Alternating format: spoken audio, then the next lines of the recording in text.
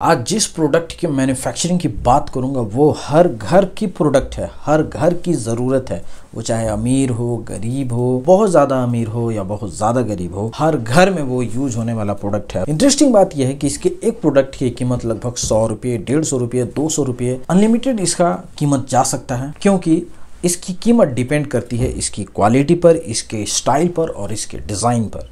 जी, मैं जिस प्रोडक्ट की बात कर रहा हूँ, वो है लाइटर। ये लाइटर आप सबके घर में होगा। आप में से चाहे जिस भी कैटेगरी के लोग होंगे, आप बहुत ज़्यादा पैसे वाले हैं, तब भी यही वाला लाइटर होगा लगभग। या इसी टाइप का लाइटर होगा या थोड़ा एडवांस वर्जन होगा। दरअसल आज मैं इसी लाइटर की मैन्युफैक्चरिंग की बात करने वाला हूँ, जो अभी तक आपने पूरे यूट्यूब पर कहीं नहीं देखा होगा। और इसकी मैन्युफैक्चरिंग की सबसे बड़ी बात है कि आप जहाँ भी ओपन करेंगे, इसके आप मोनोपोली बन सकते हैं अपने इलाके और एरिया में। कारण है कि ये सब लोग इसका मैन्युफैक्चरिंग नहीं करता है। आपने शायद ही कहीं देखा होगा, सुनते हुए किसी को या सुना होगा, किसी को कहते हुए कि वो लाइटर मैन्युफैक्चरिंग का बिज़नेस कर रहे हैं। कभी नहीं सुना होगा। मैंने खुद कभी नहीं सुना। छोटा मोटा काम जिसको देखो वो कर रहे थे। रेस्टोरेंट खोल रहा चाय का टपरी, ये वो सब कुछ। बट ये वाला काम कोई नहीं कर रहा है। ये अपने आप में काफ़ी एडवांस काम तो है ही है। साथ ही साथ द मोस्ट प्रॉफिटेबल और लॉन्ग टर्म चलने वाला काम है। इस लाइटर की जो मैं बात कर रहा हूँ, ये है हमारा स्टेनलेस स्टील लाइटर लेकिन आज की इस वीडियो में मैं जिस लाइटर की बात करूँगा, वो है इलेक्ट्रिक लाइटर जी, इस लाइटर से भी थोड़ा एडवांस लेवल का लाइटर हो जाएगा, जो इलेक्ट्रिक लाइटर होता है। ये लाइटर की भी अपनी एक लिमिटेशन होती है कि ये 500 या 1000 बार ही ये ऐसे ऐसे करेगा, ठीक है ना? ऐसे ऐसे बर्न कर रहा है। लेकिन अगर हम इलेक्ट्रिक लाइटर लेंगे तो उसमें बैटरी चेंज करना पड़ता है और एक बैटरी सालों भर चल जाता है। बैटरी बदला, फिर वो काम कर ही रहा है। तो उसकी लाइफ थोड़ी ज़्यादा होती है। उसमें ये तो जनरल लाइटर हो गया, लेकिन इलेक्ट्रिक लाइटर के जो डिज़ाइन होते हैं वो और भी ज़्यादा इससे यूनिक और अच्छे दिखते हैं। और ड्यूरेबल तो होते ही होते हैं। इस बिज़नेस को अगर आप करेंगे तो सबसे बड़ी फ़ायदा यह है कि आपको भारत सरकार की तरफ़ से सब्सिडी मिल जाएगा। दरअसल सरकार पीएमजीपी स्कीम में इसके लिए आपको सब्सिडी देती है। इसके अलावा भी और भी बहुत सारे स्कीम हैं जहाँ पर आप सब्सिडी प्राप्त कर सकते हैं। वो मैं आगे आपको बता दूँगा कहाँ कहाँ सब्सिडी आपको मिलेगा, क्या डॉक्यूमेंट लगेगा वो भी मैं आपको बताऊँगा। शुरू से अंत तक एक एक चीज़ हम लोग जानेंगे। सो सबसे फ़र्स्ट थिंग फ़र्स्ट पे हम लोग बात करते हैं कि अगर आप लाइटर का काम करना चाहते हैं तो किस तरीके का लोकेशन आपको चुनना चाहिए किस तरीके का आपको एरिया में आपको बिज़नेस करना चाहिए। सो so, इसके लिए सबसे बेहतरीन जो लोकेशन रहेगा वो रहेगा मार्केट के आसपास ठीक है ना? जो भी मार्केट है आपका जो बड़ा शहर है बड़ा सिटी है उसके आसपास में अगर आप रहेंगे तो वहाँ पे मार्केट भी अच्छी होती है। मार्केट इन द सेंस क्या? कि बेच सकते हैं आप। जैसे इस तरीके का लाइटर आपने देखा होगा मार्केट में चालीस रुपये पचास रुपये सौ सौ रुपये में लोग बेच रहे हैं। और अब तो बेचने का तरीका बदल गया है। मैं तीस, चालीस रुपये शायद पुराना वाला रेट बता रहा हूँ। नया वाला मुझे भी नहीं पता, चूँकि मैंने कभी खरीदा नहीं है ये वाला। ऑनलाइन में घर से बाद बाकी लोग परचेजिंग कर लेते हैं। सो अगर इस तरीके का लाइटर अगर आप ख़रीदने के लिए जाएँगे तो इसकी कीमत पहले से बढ़ चुकी है। और हाँ इसको बेचने के लिए लोग क्या करते हैं कि वो पतला वाला एक, इसमें नाइफ डाल देते हैं। छुरी एक पैकेट में उसमें पतला वाला एक छुरी रहता है और वो बिक जाता है। वो छुरी का कीमत कुछ भी नहीं होता, दस रुपये भी नहीं होता है। लेकिन उसकी वजह से इस लाइटर के पैकेट की कीमत बढ़ जाती है। सौ रुपये में ले लो आप, डेढ़ सौ में ले लो, दो सौ में ले लो। अपना अपना बेचने का तरीका होता है। इसके लिए जो अगर मैं एरिया की बात करूँ तो एरिया लगभग 500 स्क्वायर फीट के आसपास में एरिया चाहिए, जो कि मोर देन इनफ है। क्योंकि वहाँ पर आपको स्पेस जो भी चाहिए होगा, वो कुछ मशीन के लिए चाहिए होगा कुछ रॉ मटेरियल के लिए चाहिए होगा, कुछ फिनिश गुड्स के लिए चाहिए होगा और एक आध स्टाफ के रहने के लिए भी चाहिए होगा। जनरली फैक्ट्री में एक स्टाफ तो रखते ही रखते हैं। सेफ्टी के लिए भी और कुछ वैसे स्टाफ होते हैं जो आउट ऑफ़ स्टेट या आउट ऑफ़ टाउन होते हैं तो उनको रहने की सुविधा भी हो जाती है और फैक्ट्री मालिक को दो बेनिफिट हो जाता है। तो उसके लिए भी एक जगह की आ, मैंने इसमें एडिशन कर ली है। तो लगभग 500 स्क्वायर फीट के आसपास में आपको इसके लिए जगह चाहिए होगा।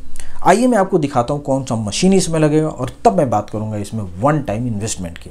सो so, ये जो अभी आप मेरे स्क्रीन पर देख रहे हैं यहाँ पर मशीन की कीमत के साथ साथ इसका नाम भी मैंने दिया हुआ है। सबसे पहला नंबर मशीन है precision type bench lathe machine lathe machine बहुत बड़ा वाला नहीं चाहिए। लेथ मशीन में भी हर टाइप का लेथ मशीन आता है, समझ, ठीक है ना? तो लेथ मशीन यहाँ पे ज़्यादा नहीं चाहिए। डेढ़ फीट का इसमें बेड चाहिए, दो एच के मोटर वाला ही लेथ मशीन चाहिए, जिसकी कीमत अच्छा ये जो प्राइजिंग आपको दिख रहा होगा, ये टेंटेटिव प्राइजिंग है। हो सकता है कि इसका प्राइजिंग जो चालीस हज़ार दिख रहा है, हो सकता है अभी आपको चालीस में ना मिले। साठ, सत्तर, अस्सी लाख रुपए में मिल सकता है, ठीक है ना? तो मैं सबसे अंत में इसको बता दूँगा कि फुल प्राइजिंग क्या होगा। अभी आप इसको इतना ही समझिए। नेक्स्ट इसमें आता है fly press thirty one number का इसमें आएगा। Bench drilling machine drilling machine चार हज़ार रुपये का। बेंच ग्राइंडिंग मशीन जो कि चार हज़ार का। शीरिंग मशीन दस इंच बाई दस इंच का। इंजेक्शन मोल्डिंग मशीन जो कि five thousand test bench with jigs filtered जो कि five thousand spot welding machine आठ हज़ार का। Cost of dies and mould पंद्रह हज़ार का। टोटल तो यहाँ पे नब्बे हज़ार लिखा हुआ है, लेकिन मेरे अकॉर्डिंग जब आप अलग अलग जगहों से इन मशीनों को आप ख़रीदने के लिए जाइएगा तो लगभग वन टाइम प्राइजिंग इसकी नब्बे हज़ार नौ हो के लगभग दो लाख के आसपास में जा सकता है, ठीक है? क्योंकि अलग अलग कंपनी का अलग अलग प्राइजिंग होगा। दो से ढाई लाख रुपये अगर हमने मशीन की कीमत मान ली। चलिए, दो से ढाई लाख रुपये मशीन का कीमत हो गया। और जहाँ पे आप शेड लेंगे, वो शेड हमेशा रेंटेड लीजिएगा। अगर आप खुद का बनाएँगे तो चार से पाँच लाख रुपये तो शेड में ही लग जाएगा, जो कि नहीं करना है। रेंटेड शेड लीजिए तो दो से ढाई लाख रुपये मशीन का कीमत। शेड में भी पचास साठ हज़ार रुपये आपको लगाना पड़ेगा तो टोटल थ्री लाख रुपीज़ हो गया। प्लस इसमें हमारा कुछ वर्किंग कैपिटल हमें चाहिए हो जो कि लगभग दो लाख रुपया होगा।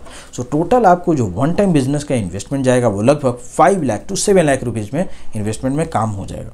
अगर आपके पास पाँच से सात लाख रुपए का इन्वेस्टमेंट नहीं है या अगर है भी तब भी आप इसमें लोन का फ़ायदा उठा सकते हैं जहाँ पे आपको सब्सिडी भी मिलता है। आइए एक एक करके मैं आपको बताता हूँ कौन से लोन में क्या सब्सिडी क्या बेनिफिट मिलेगा।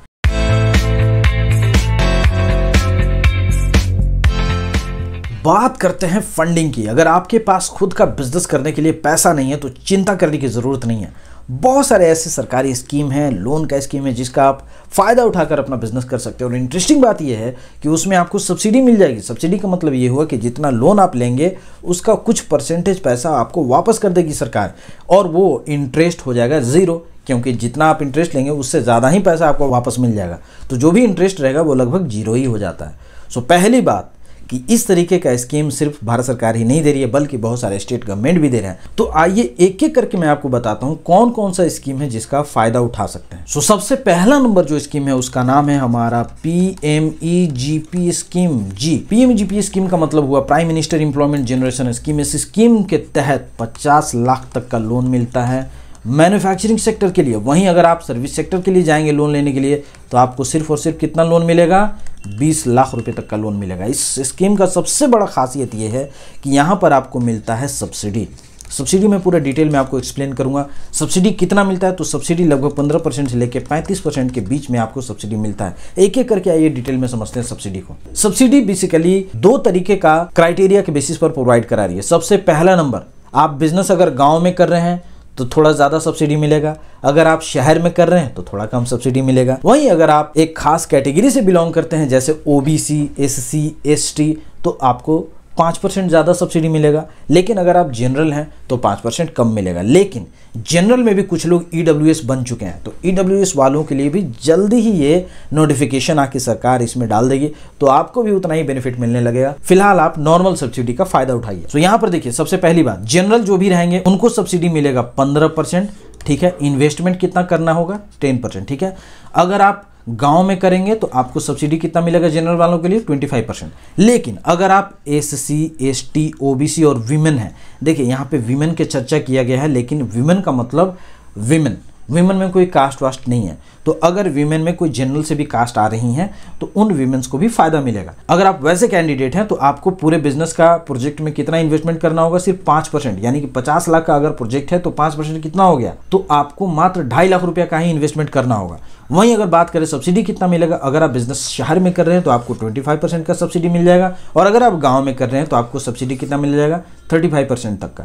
सो so, ये हो गया हमारा पी एम स्कीम पूरा डिटेल में। अब मैं आपको बताता हूँ कुछ स्टेट गवर्नमेंट के स्कीम्स सो so, सबसे पहले इसमें आता है हमारा मुख्यमंत्री उद्यमी योजना। मुख्यमंत्री उद्यमी योजना लगभग हर स्टेट गवर्नमेंट ने लॉन्च किया हुआ है। जैसे बिहार गवर्नमेंट का भी है वहीं अगर मैं बात करूँ तो एमपी गवर्नमेंट का भी है। आप अपने स्टेट में चेक कर लीजिएगा, आपका है कि नहीं है, ठीक है ना? मुख्यमंत्री उद्यमी योजना में भी जनरली 10 लाख तक का लोन इसमें मिलता है। यहाँ पर भी आपको सब्सिडी मिल जाता है, मुख्यमंत्री उद्यमी योजना में भी। सो आप अपने स्टेट में आपको चेक करना होगा। नेक्स्ट इसमें एक स्कीम आता है। अच्छा बिहार वालों के लिए भी है एमपी वालों के लिए भी है तो क्या बाद बाकियों के लिए नहीं है? सबके लिए है। चेक करना है आपके स्टेट में कौन सा चल रहा है, मुख्यमंत्री वाला, ठीक है ना? हरियाणा का भी है, सब जगह का है। तीसरा इसमें एक स्कीम आता है, यूपी के लिए स्पेसिफिकली मैं बता देता हूँ, बड़ा स्टेट है, काफ़ी सारे लोग इसमें हैं। सो वहाँ पर एक स्कीम है, उसका नाम है युवा स्वरोजगार योजना। युवा स्वरोजगार योजना के तहत लगभग 25 लाख तक का लोन इसमें मिल जाता है और इसमें भी सब्सिडी आपको पंद्रह परसेंट से लेके पैंतीस परसेंट तक का सब्सिडी इसमें मिलता है। तो ये हो गया टोटल लोन का स्कीम। किसी भी टाइप का लोन लेने के लिए अगर आप जा रहे हैं तो बहुत टाइप का डॉक्यूमेंट का रिक्वायरमेंट पड़ता है। स्क्रीन पर दिए नंबर से आप संपर्क करें। लोन से रिलेटेड हर एक एक चीज़ों में आपको गाइड की जाएगी। फॉर्म भरा जाएगा डॉक्यूमेंट बनाया जाएगा अप्रूवल करवाया जाएगा टोटल चीज़ आपको हो जाएगा। इसका वेबसाइट भी है my project report dot com जिसका लिंक मैं डिस्क्रिप्शन में दे दूँगा। वहाँ पर भी आप जाकर विज़िट कर सकते हैं या स्क्रीन पर नंबर पर आप डायरेक्ट संपर्क कर सकते हैं।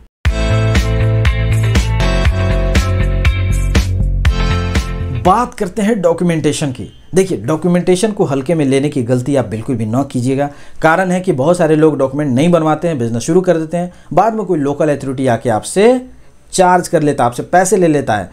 अफवाह पैसे लेता है, झूठा पैसा लेता है। उससे बचने का क्या तरीका? उससे बचने का यही तरीका है, यार, हज़ार पाँच सौ, दो हज़ार, पाँच हज़ार रुपया खर्च करके डॉक्यूमेंट बनवा लो ना। क्यों किसी को बीस हज़ार रुपया घूस दोगे?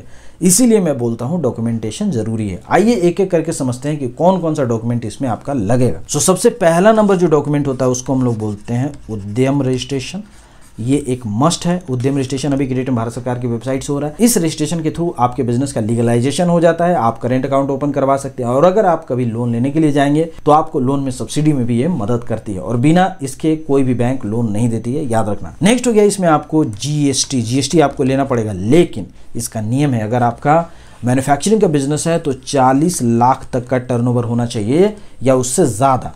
लेकिन अगर उससे कम है तो आपको लेना है कि नहीं लेना है? इसका आंसर अभी हम लोग खोजते हैं। देखिए, कई बार होता है कि जब आप मैन्युफैक्चरिंग करने के लिए जाते हैं और आप अगर रॉ मटेरियल परचेज कर रहे हैं तो वो रॉ मटेरियल वाला बंदा जीएसटी आपको काट के बिल देता है। और जब आप मैन्युफैक्चरिंग कर लिए और जब आप बेचने के लिए मार्केट में पहुँच रहे हैं तो जो डिस्ट्रीब्यूटर होगा, जो रिटेलर होगा, वो कई बार बोलते हैं कि हमको जीएसटी का बिल दीजिए। क्योंकि वो लोग तो बहुत पहले से बिज़नेस कर रहे हैं। आप ना मार्केट में नए हैं, वो लोग तो नए नहीं होंगे। तो इस केस में क्या होगा कि आपसे जीएसटी की डिमांड की जाएगी। तो इससे बेहतर यही है कि आप जीएसटी ले लीजिए।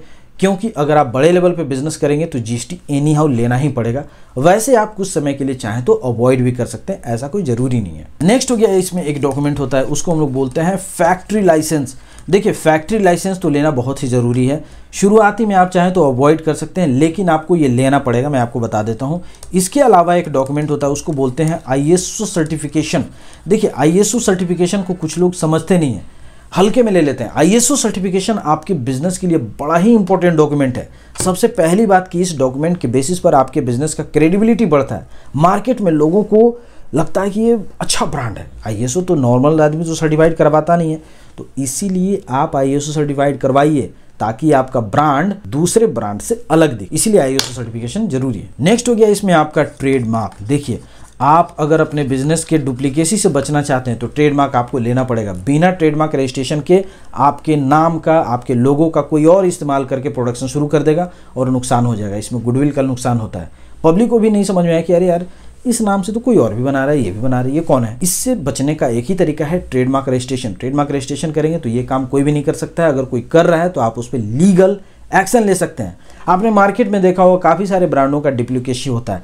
जैसे नाइक एक ऐसा ब्रांड है एडिडास ऐसा ब्रांड है पूमा ऐसा ब्रांड है, इन लोगों का डुप्लीकेसी बहुत ज़्यादा होता है। तो इन लोगों से हमें सीखना चाहिए कि आपके ब्रांड का डुप्लीकेसी न हो, इसीलिए ट्रेडमार्क ज़रूरी है। बाद बाकी कुछ छोटे छोटे डॉक्यूमेंट और लग सकते हैं। जैसे एक डॉक्यूमेंट होता है फायर एंड सेफ्टी लाइसेंस अगर आपके फैक्ट्री में किसी भी टाइप का मशीन चल रहा है तो वहाँ पे फायर एंड सेफ्टी ज़रूरी है। दूसरा हो गया इसमें आपका पोल्यूशन देखिए पोल्यूशन किन को लेना चाहिए? अगर आपके बिज़नेस में पोल्यूशन निकल रहा है, धुआँ भी निकल रहा है ना तो लेना पड़ जाएगा। बस, वो जो नियम है, सो है। पोल्यूशन का डॉक्यूमेंट फायर सेफ्टी का लाइसेंस ये लोकल लेवल पे मिलता है। इसके अलावा एक और डॉक्यूमेंट होता है, उसको हम लोग बोलते हैं ट्रेड लाइसेंस इतने सारे डॉक्यूमेंट का नाम सुन के आपको अगर पसीना आ रहा हो तो चिंता मत कीजिए। इन सारे डॉक्यूमेंट को आप प्राप्त कर सकते हैं। माई वेबसाइट पर जाकर ये कंपनी पूरे ऑल ओवर इंडिया लेवल पे डॉक्यूमेंटेशन का काम करती है legal financial and business consultation services provide कराती है। इसका स्क्रीन पर जो नंबर है, आप यहाँ से भी संपर्क कर सकते हैं। मैं डिस्क्रिप्शन में भी नंबर दे दूँगा, आप डायरेक्ट वहाँ पे संपर्क कर लीजिए बात कर लें इसमें कितना प्रॉफिट मार्जिन जाएगा तो इस बिज़नेस में लगभग आपको प्रॉफिट मार्जिन तीस से चालीस तक जाएगा। इसकी जो मार्केटिंग आप करेंगे, इसकी मार्केटिंग दो तीन तरीके से आप कर सकते हैं। सबसे पहला नंबर तरीका हो गया डिस्ट्रीब्यूटर के थ्रू मार्केटिंग जो कि मेरे अकॉर्डिंग सबसे परफेक्ट होगा, क्योंकि एक डिस्ट्रीब्यूटर दो लाख, तीन लाख एक लाख पचास हज़ार इस लेवल का माल वो खरीदेगा तो आपका एक ही बार में बल्क में बिक जाएगा। पहला नंबर मार्केटिंग का तरीका दूसरा नंबर हो गया आप इसको ले, लोकल लेवल पे भी बेच सकते हैं। आपने हमेशा आपने आ, देखा होगा जो भी आप शहर में रह रहे हो गाँव में रह रहे होंगे वीकेंड मार्केट लगता है या कोई वीकेंड नहीं भी लगता है तो साप्ताहिक एक मार्केट ज़रूर लगता है। हाट जिसको हम लोग बोल सकते हैं। तो उन साप्ताहिक मार्केट में भी आप देखते होंगे कि जहाँ पर भी ये प्लास्टिक से रिलेटेड सामान या बर्तन से रिलेटेड सामान बेचते हैं, वो लोग लाइटर ज़रूर बेचते हैं। तो आप उन जैसे सेलर के थ्रू भी बेच सकते हैं, या आप कुछ वैसा ऑफ़र लाइए और वैसे मार्केट में खुद अपने बंदे को बैठा दीजिए और वो एक ही बार में धड़ाधड़ करके अच्छा खासा सामान निकाल देगा। तो इस दो तीन तरीके से आप बेच सकते हैं, या तीसरा एक तरीका हो गया, सीधा रिटेल के पास संपर्क करें हम और खुद ही दस, पाँच, बीस, पच्चीस, पचास अपना डायरेक्ट उनको सेलिंग हम कर दें। तो इसके अलावा हम डायरेक्ट सेलिंग भी कर सकते हैं घर घर भेज के, जो कि ये सफल होगा, कोई दिक्कत नहीं। वैसे तो घर पे जाके सेल करने का जो अब दौर है, वो लगभग ख़त्म हो चुका है, लेकिन ये वाला एक ऐसा पार्ट है कि आप किसी गाँव में, मोहल्ले में भी जाके अगर आप सेल करेंगे तो लोग खरीद लेंगे, क्योंकि ये यूज़फुल चीज़ हो गया।